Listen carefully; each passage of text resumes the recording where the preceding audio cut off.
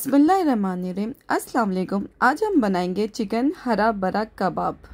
ये बहुत ही टेस्टी अच्छा बनता है और ग्रीन चिकन का, ग्रीन मसाले का बनता है। यहाँ हमने लहसुन, अदरक और हरी मिर्ची, धनिया और पुदीना और प्याज लिया है।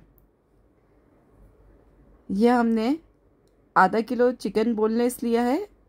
अब इन सब मसाले के साथ हम इसे चॉप कर देंगे।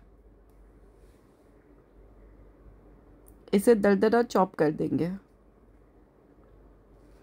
अदरक, लहसुन, हरी मिर्ची, धनिया, पुदीना, चिकन, प्याज अच्छे से दरदरा चॉप कर देंगे।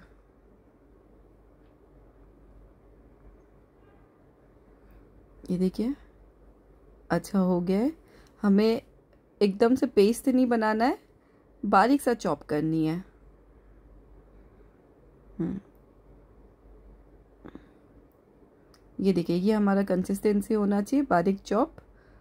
अब हम इसे साइड कर देंगे। ये हमने सोयाबीन लिया है।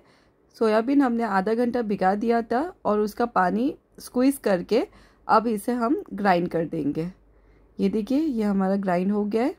अब ये इन सब मिक्सचर को एक पतीली में कंबाइन कर देंगे बाइंडिंग करेंगे हम। ये हमने सोयाबीन लिया है, वो चॉप मसाले लिया है। अब इसमें हम ड्राई मैंगो डालेंगे, आमचूर पाउडर, जिससे थोड़ा सा खटास हो।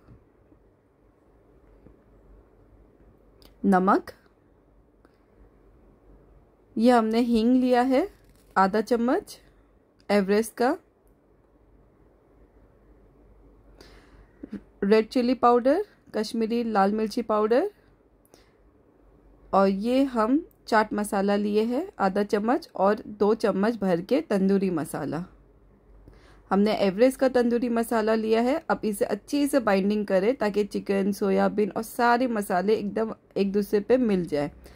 अब हम इसे छोटी छोटी टिक्कियाँ बनाएँगे। पहले छोटा सा लेंगे और उसे रोल करेंगे और हल्के हाथ से प्रेस कर देंगे। ये हमारा टिक्की रेडी हो जाएगा। अब इसे हम डीप फ्राई करेंगे मीडियम फ्लेम में। हमारा तेल गरम है। अब इसे हम फ्लेम हमारा मीडियम रखेंगे। ये आहिस्ते आहिस्ते रेड होगा।